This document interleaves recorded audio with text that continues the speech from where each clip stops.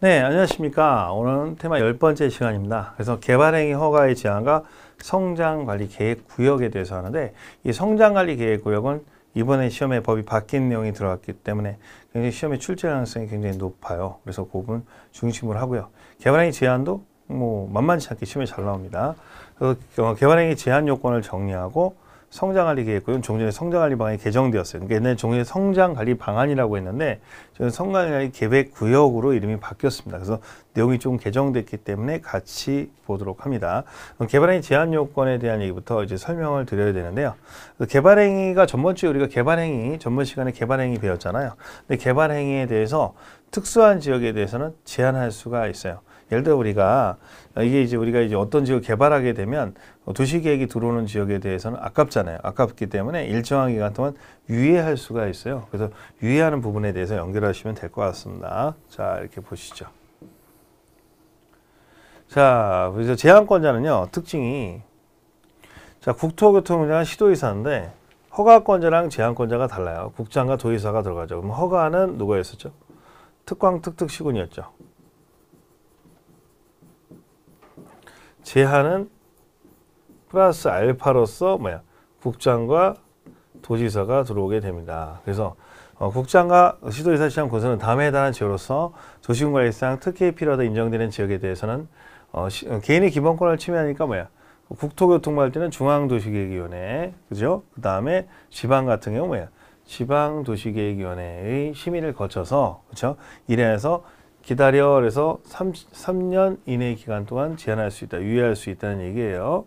근데 여기서 이제 재밌는 건 뭐냐면 어느 지역이 이제 보통 기다 그러니까 아깝다라는 지역, 아깝다는 지역은 땅이 아깝다. 아깝다는 몇 글자죠? 세 글자니까 3년이에요. 3년으로 하고요. 그 다음에 이제 기다려 달라는 지역이 있어요. 기다려 달라. 몇 글자죠? 다섯 글자잖아요. 그래서 3 플러스 2로 가요. 그럼 최대 5년까지 가능하거든요. 그래서 이제 어떤 경우는 연장이 가능한 지역이 있고 연장이 불가능한 지역이 있어요. 그래서 주의할 것은 연장할 때는 연장이 가능한 게세 개가 있는데 연장이 가능한 건 기다려 달라는데 연장 시는 심의가 없어요. 왜 심의가 없냐면 이제 개발이 제한 지역이잖아요. 그러면 심의하는 심의하는 기간 동안 뭐야? 다 허가를 다 빠져버리기 때문에 블랭크에 구멍이 난단 말이에요. 구멍이 나서 연장 심의가 없는 이유는 뭐야? 연속성이 있게 하려고 하는 거야. 그래서 그래서 3, 4, 5에 해당하는 지역에 대해서는 심의를 거치지 않고 1회 하나에서 2년의 기간 동안 연장할 수가 있고요. 자, 그럼 이제 1, 2, 3부터 보겠습니다. 1, 2번, 1, 2번. 자, 아깝다 그랬죠. 그래서 녹지 지역, 녹개수요. 청산이는 벽개수, 나는 녹개수. 계획관리 지역에서, 즉 개발 예정 지역에서 수목이 나무 엄청나게 많아. 그래서 녹개수라고요. 녹개수. 녹개수야. 네, 녹개수인데 녹개수에서 수목이 집단에 나무가 돼요. 조수는 뭐야? 새 조자 짐승수예요. 그러니까 토끼가 있고 어? 또 뭐가 있는 거예요? 꿩이 있는 지역이야. 그리고 그리고 그 서식하는 지역 또는 무량농지라는 건 뭐야? 방울토마토 심으면 머리통만하게 나온다는 거지. 예를 들어서 그게 잘 기름진 땅이면 이런 땅에다가 건물을 지면 아까워 안 아까워? 아까우니까 그걸 겸허 일정한 유예를 좀 하는 겁니다. 개발행위나 주변의 환경, 경험, 문화재 등이 손상에 오염될 우려가 있는데 제가 예전에 학교 다닐 때 뭐 수학여행, 수련회 이런 데 갔었어요. 근데 경주라는 데 갔었거든요.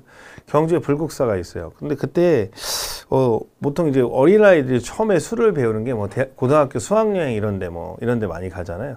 그러면서 술을 배우기도 하거든요. 친구들끼리 또 일찍 아버지한테 술을 배운 친구들이 술을 갖다가 숨겨 갖고 와요. 근데 이제 바로 수학여행 가기 전에 소지품 검사를 한번 싹 하면서 선생님들이 다 털어서 드십니다. 갖고 와요. 그러면 이제 없잖아요. 술하고 담배. 근데 구하려고 하는데 불국사 갔는데 없어. 불국사 근처에 뭐야? 가게가 없는 거야. 왜? 불국사 옆에 가게 있으면 엄청 잘 됐을 거야. 왜? 거기 놀러 가는 애들 전부 다 뭐야? 술, 담배 다 뺏겼는데 거기서 보충해야 될 거 아니야. 근데 그게 안 되는 이유가 그 지역에 세븐일레븐이나 GS25 CU가 없는 이유는 그 불국사가 유네스코 선정 문화재입니다. 세계 문화유산. 그럼 등재되어 있단 말이에요. 여러분들 어, 에집트에 피라미드 있어요, 없어요? 피라미드. 에집트에 피라미드 있죠. 피라미드 이렇게 생겼잖아요. 그 피라미드 옆에 스타벅스 같은 거 있으면 영화도 못 찍고 문화재도 안 되잖아. 그러니까 에집트의 피라미드 옆에 바깥에 이렇게 있어야 되죠. 그러니까 여러분들이 어, 에집트의 피라미드가 많을까요? 우리나라의 피라미드가 많을까요? 우리는 더 많아요. 불법 다단계 피라미드. 그래서 여기서 우리가 실질적으로 이 피라미드, 그죠? 여러분들 다이아몬드 달 수 있어요 하는 거 있잖아요. 그죠? 사파이어 갑시다 하는 거. 옥장판 팔면서. 근데 이제 이게 유네스코 선정 문화재가 되기 때문에 이 스타벅스가 이 안에 들어갈 수가 없는 겁니다. 그죠? 예. 파라오 옆에 없다. 파라오 옆에 스타벅스가 없는 거예요. 대체 거기까지 이해 가실 거예요. 좋아. 그래서 이런 데는 이제 문화재 같은 것들이 오염되어 있으면 뭐야? 아깝다는 거예요. 그 다음에 이제 여기 호남에서는요. 자 보세요. 자 그럼 이제 여기서 기반시설 부담구역이라는데 이 기반시설 부담구역은 중요한 게 뭐냐면 어, 어느 동네가 그 지구 단위 계획하고 비슷한 거야. 그러니까 어느 동네가 그린벨트가 풀렸어. 그린벨트가 풀렸으면 뭐야? 이 도로, 학교, 공원이 없잖아요. 그래서 이 땅 주인들의 땅값이 폭등하니까 여기서 도로 설치 비용을 땅 주인들한테 부담하는 지역이 기반시설 부담 구역이야. 난개발 방지하기 위해서 지구 단위 계획 구역도 마찬가지죠. 왜? 어느 동네 도시 계획이 완화가 됐어.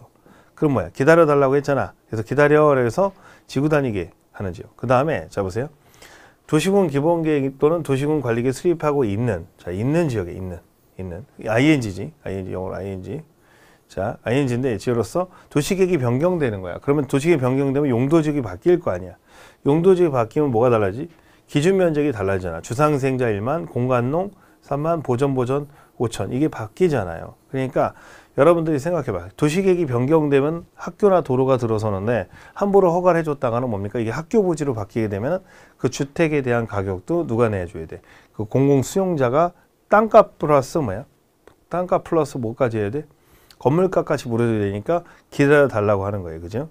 외우실 때는 외우실 때는 이제 ing잖아요. 여기 ing. 그러면 이제 호남 사투리가 있어요. 아따 기다리기 겁나리 지루하징 아따 겁나리 기, 기다리기 지루하징 그죠 ing 진행하고 있는 그러니까 이렇게 외우시면 돼. 이 시험에 잘 나오니까 기억해 놓으시고. 근데 개발 밀도 관리 구역은 어, 개발의 허가 제한 지역이 아니라는 거예요. 그래서 그래서 우리가 뭐야? 아깝다 뭐야? 13년. 기다려 달라 5년. 그래서 이 3, 4, 5는 연장이 가능하고 1번과 2번은 연장이 불가능해요. 그래서 시험에서 이거 구별하는 문제가 출제가 되고요. 자, 그 다음에 이제 제한 절차. 제한 절차는 뭡니까? 어, 심의를 하고 그래서 의견을 듣고 하게 됩니다. 개발의 제한의 고시. 고시라는 게 뭐죠? 알려주는 걸 고시라고 하는 거죠. 자, 국토교통은 지도에서 시작 땅을 사는데 이게 개발액이 제한 지역인지 아닌지 모르고 사면 되겠어요? 안 되잖아. 그러니까 국토교통은 시도에서 시장 군수는 개발의 허가를 제한하고자 할 때는 미리 제한 지역, 제한 사유, 제한 대상 행위, 건보 등에 고시한다는 건 뭐야? 알려준다는 얘기예요. 고시 공부한다는 게 아니라 알려주는 거고 사람들이 알려줘야지 뭐야? 아, 이 땅을 사야 될지 말아야 될지 판단하잖아. 그러니까 토지에 대한 정보를 알려주겠다. 그 얘기고요. 그다음에 개발행위 허가 위반자에 대한 조치는 아까도 얘기했죠. 그러면 이제 만약 허가를 안 받고 행위를 했다 그러면 원상 회복 명령이 있어요. 실무에서. 여러분들 제가 어, 실무를 하다 보니까 원상 회복을 해야 되는 경우가 있었어요. 원상 회복을 할 때 보면은 안 하면 어떻게 할까요? 행정 대집행을 해요. 아까 받았던 뭐야? 이행 뭐야? 보증금으로 보증금으로 대집행을 하거든요. 대신 집행한다는 얘기예요. 20% 있잖아요. 20% 대집행을 하고 그다음에 대, 대집행을 하고 남는 거는 반환해 줘요. 우리가 이제 여러분들 우리가 내가 옛날에 이제 어, 피아노 학원을 건물주야. 그러니까 이제 아파트 단지 앞에 조그만 건물 분양받을 수 있잖아요. 그죠? 근데 그 피아노 학원이 있었어요. 그 피아노 학원 원장님이 어, 우리가 코로나가 오다 보니까 월세를 제대로 못 내는 거야. 그래갖고 보증금 2천만 원에 월세 100만 원이었거든요. 석 달을 월세를 안 냈어. 그리고 나간대. 그 뭐야? 1,700만 원이 남는 거지. 그거 뭐야? 반환해야 돼, 안 해야 돼? 보증금에서 까는 거야. 대신 집행한다는 건 뭐야? 원금 보증금에서 내가 까는 거지. 그렇죠? 그러니까 보증금에서 까고 월세 까고 남은 돈은 내가 먹어야 돼, 돌려줘야 돼. 집주인이 돌려주는 거지. 그래서 반환한다는 거고. 자, 그다음에 이제 감옥도 보내요. 3년에 3천으로 모시는 거죠. 뭐가 똑같죠? 시가화 조정구역하고 내용이 같죠. 이렇게 기억하시면 돼요. 네. 그래서 이 개발의 허가 제한 부분은 시험에 굉장히 자주 출제가 돼요. 아깝다, 기다려 달라. 그렇게 기억해 놓으시면 될 것 같습니다. 됐죠? 자, 성장관리 계획구역이라고 되어 있어요. 성장관리 계획구역. 성장관리 계획구역은 뭐냐면 이게 뭐냐? 자, 설명은 지구 단위 계획의 형이에요.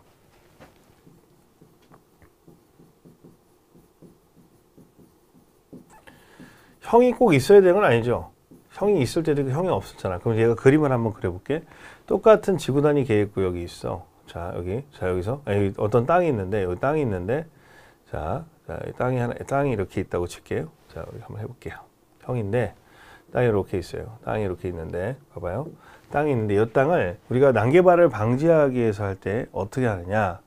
이 땅에다가 지구 단위 계획 구역을 묶어요. 그 다음에 그 안에서 이 지구 단위 계획 안에서 뭘 하죠? 지구 단위 계획을 짜죠. 이렇게 되잖아. 근데 이거는 어떻게 되냐면 이제 어, 성장 관리 계획 구역을 먼저 묶어요. 묶은 다음에 그 다음에 다시 또 뭐예요? 지구 단위 계획 구역으로 이렇게 해요.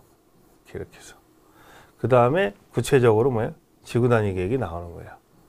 그러니까 일종의 스케치를 먼저 하고 그림을 그리는 거죠. 이게 어, 성장 관리 계획 구역의 지정이야. 그래서 발전 가능성 있는 지역에 성장 관리 계획을 하는 거죠. 그러니까 예를 들어서 어느 지역이 있는데 여기서 서부 지역과 음, 동부 지역이 있어요.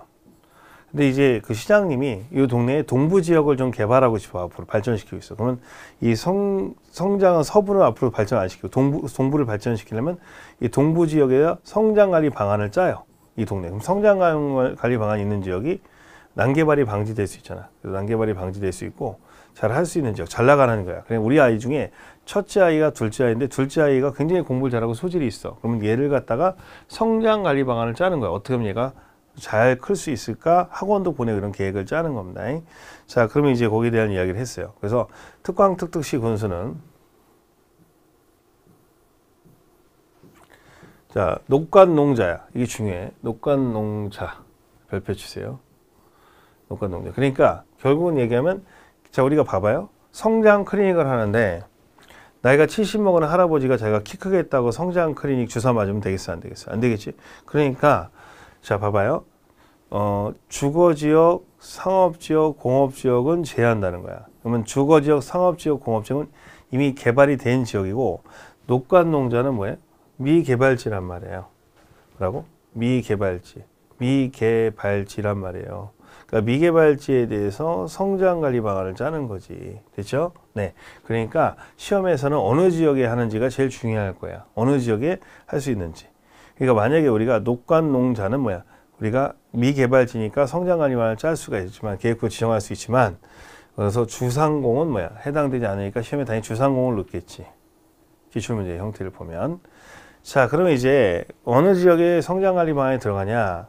자, 개발 수요가 무질서한 개발이 진행되어 있거나 진행 예상돼. 즉, 잘 나갈 것 같은 지역이야. 그러니까 외우실 때는 이 세, 네가, 다섯 가지 너무 힘들어, 안 힘들어. 그러니까 자, 앞으로 잘 나갈 것 같다. 잘 나갈 것 같은. 예. 잘 나간다는 표현 쓰죠. 야, 그 친구 요즘에 잘 나가더라. 이게 사실은 안 좋은 용어입니다. 원래 잘 나간다는 표현이. 여러분들이 보면 그 교도소 용어예요. 교도소 용어. 여러분들 교도소에 이 사람이 어, 만약에 부모가 있고 자식이 있고 아니면 좀 집안에 돈이 많고 사기꾼인데 숨겨놓은 돈이 많으면 아니 저 두목이면 면회를 잘 나갈까요? 잘 안 나갈까요? 면회를 잘 나가잖아. 근데 부모님도 버린 고아 자식이고 이런 애들이야. 그죠? 국가의 자식이라 그래. 법자, 법무부 자식. 실무상 법자라고 법무부 자식이라 그래서 아무도 돌보지 않고 오로지 뭐야 나라에서 주는 것만 먹는 애. 걔네들은 면나못 나가는 거죠. 그렇죠. 그러면 면회 자주 오면 뭐라 그래? 그 죄, 죄수들끼리 야 요즘에 너 잘 나가더라. 그 잘 나간다는 게 뭐야? 면회를 잘 나간다는 말이야. 근데 이게 이제 사람들이 그 잘 나간다는 표현을 이제 그렇게 쓰는 거죠. 그런 용어들이 많이 있죠. 통상적으로 이제 개털이라는 용어도 많이 써요. 개털 됐다는 개털도 교도소에 가면 담요를 주거든요. 제가 갔다 와서 아는 건 아니고요.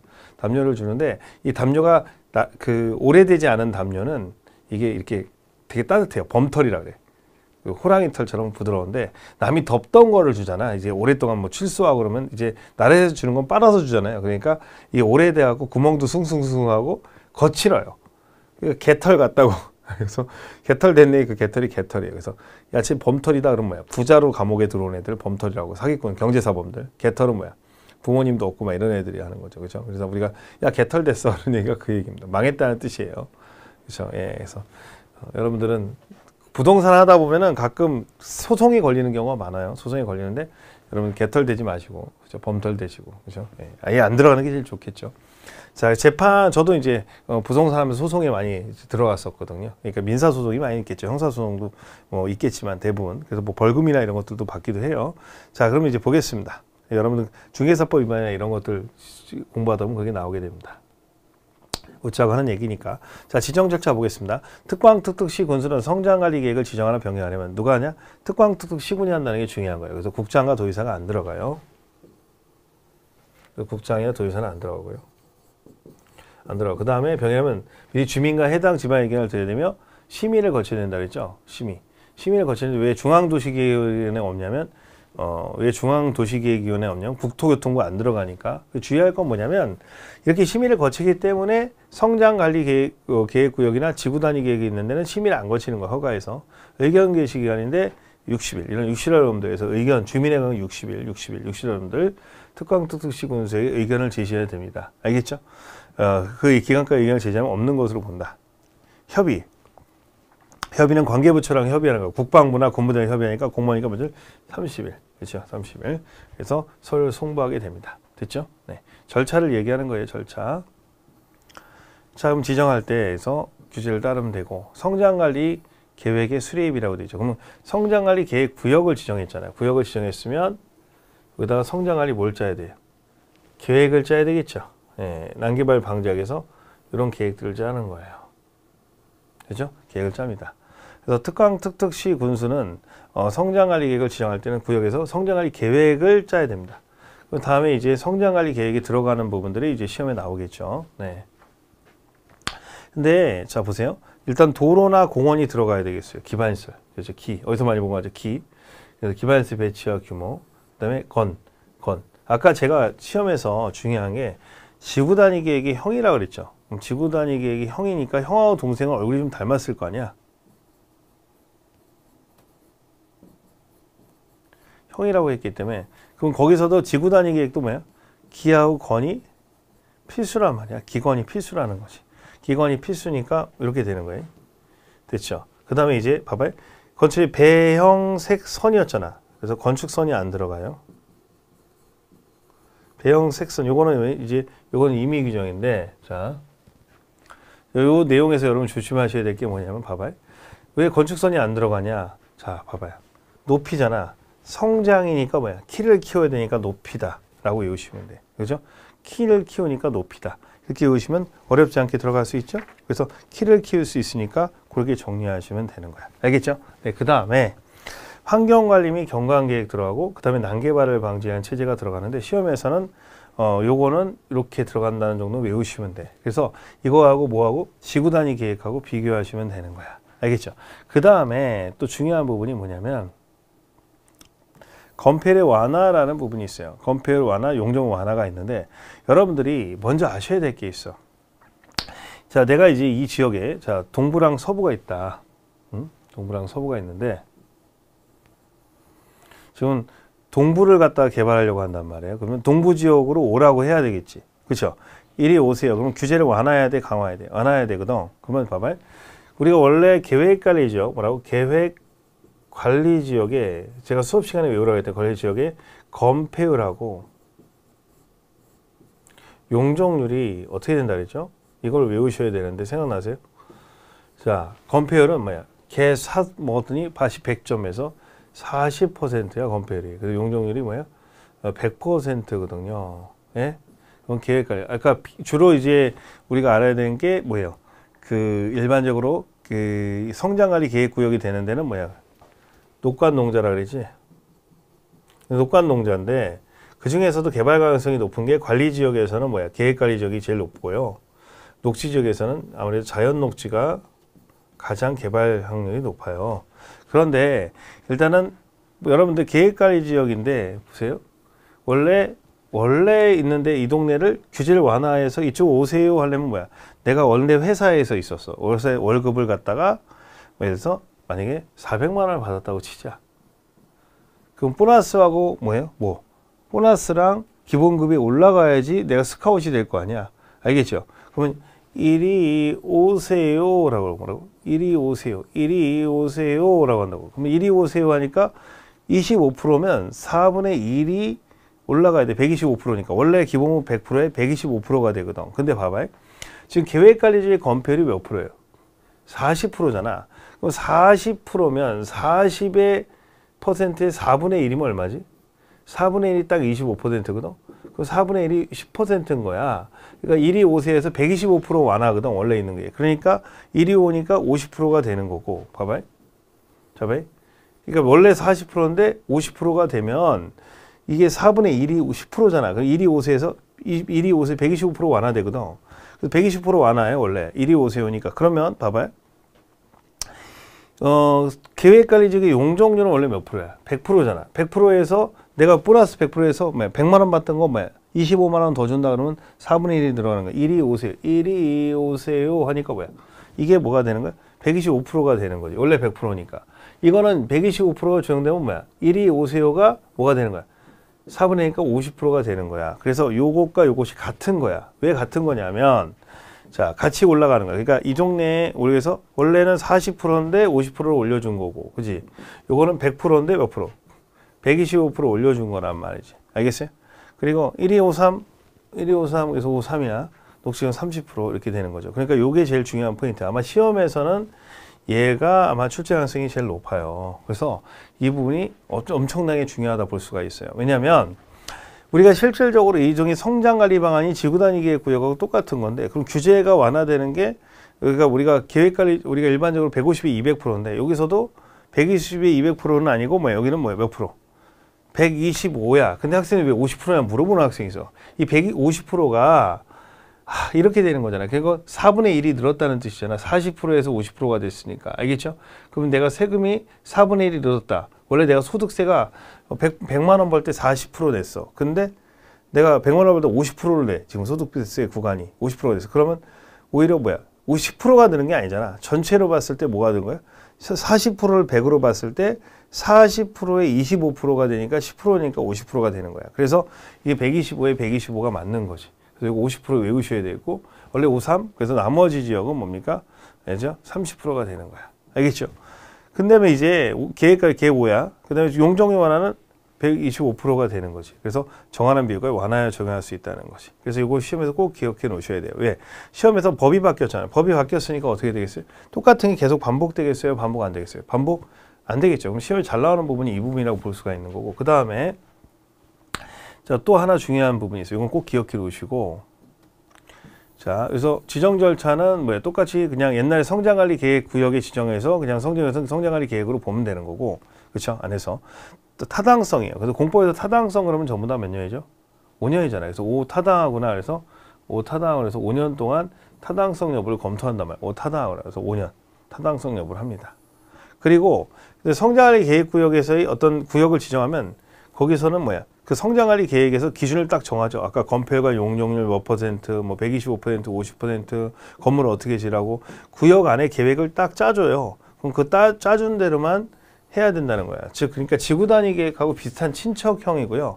패턴이 바차히 비슷하다는 거예요. 그래서 지구 단위 계획하고 같이 연결해서 연결해 주시면 돼요. 그러니까 성장 관리 방안을 짜고 바로 지구 단위 계획이 들어갈 수도 있고 지구 단위 계획으로 바로 들어갈 수도 있다고 했잖아요. 그렇죠? 그렇게 해서 정리해 주시면 될 것 같고요. 그 다음에 자 여기서 이제 성장 관리반에 맞게 들어가되 좀 조심하셔야 될 부분이 있어요. 여러분들이 실질적으로 이제 개발 행위가 제한 지역에도 뭐가 있어요? 성장 관리 방안이 있냐? 그렇지는 않죠. 그래서 같이 연결해 둬야 될 부분이 뭐냐면 이 성장 관리 방안이 있는 지역에서는 뭐 한다? 우리가 개발 행위 허가, 개발 행위 허가를 받을 때 행위 허가 시 심의가 있다 없다? 심의가 없다는 거 다시 한번 말씀드리고 역시 지구 단위 계획 구역도 마찬가지라는 거예요. 왜 그럴까요? 이미 성장관리 방안에서 지구 단위 계획에 대한 내용을 같이 포함시켰잖아요. 그러니까 심의를 다 했기 때문에 일괄 심의했기 때문에 할 필요가 없다는 거하고 그 다음에 뭡니까? 아까도 얘기했지만 완화되는 비율에 대한 것들 그렇죠. 요것들 같이 정리해 주시는 게 좋아요. 그래서 요 부분은 굉장히 중요하다. 사무시 50% 그다음에 아까 얘기했던 뭐야? 그 25%요 부분 요것들 같이 연결해 주시는 게 굉장히 중요하다. 그래서 요거는 아마 가로놓기로 시험 문제가 나올 겁니다. 알겠죠? 제시하는 중에 어느 지역을 정할 수도 있어요. 그러니까 계획 관리 원래 40%인데 10%가 포인트가 더 들어가는 거고 요 부분이 들어가는 거예요. 그러니까 성장 관리 방안이 있기 때문에 사람들은 성장하는 지역으로 올 거 아니에요. 그렇죠? 그렇게 정리하시면 어려운 부분이 없을 거라고 봅니다. 여러분들 그래서 정리하시면 되겠고요.